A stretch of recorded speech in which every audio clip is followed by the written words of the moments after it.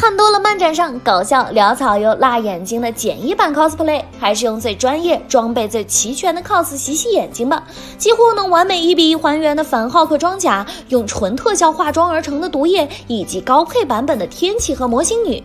今天由于探讨的话题就是五个最专业的 cosplay，一起来看看吧。反浩克装甲。反浩克装甲维洛尼亚登场于《复联二》中，是由钢铁侠和绿巨人共同设计的。为了抵御外星文明的入侵以及绿巨人狂暴后无法控制的破坏，所以这个以钢铁侠铠甲为造型、能单挑绿巨人的重装甲极为威风。一般情况是没有人 cos 它的，因为难度系数过大。但国外有一名专业的 coser 托马斯和他的团队，曾经花费六十六天制作过一比一还原的反浩克装甲。这个装甲高二点七米，不仅外表有惊人的相似度，还有功能齐全的照明设备。因为体积庞大，得要三个人共同帮助才能穿上这件铠甲。不过，当你在漫展上看到如此专业的 cos 服装，会不会以为是原版来客串了呢？毒液。自从汤老师的毒液在全球爆红后，就成了漫展上最受欢迎的角色之一。不少人都购买了橡胶质地的毒液服装进行 cos，最惊恐的头部也有橡胶头套进行加持，可怕的尖牙长舌等细节也非常到位，十分接近原版。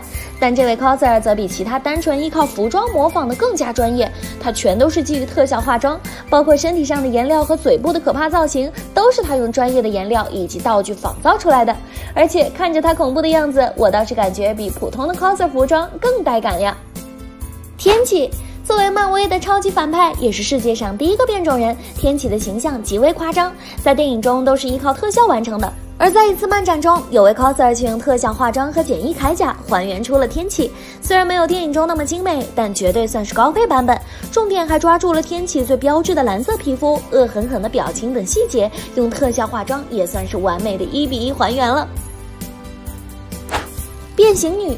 X 战警中的变形女拥有模仿一切人物的能力，包括外形和声音。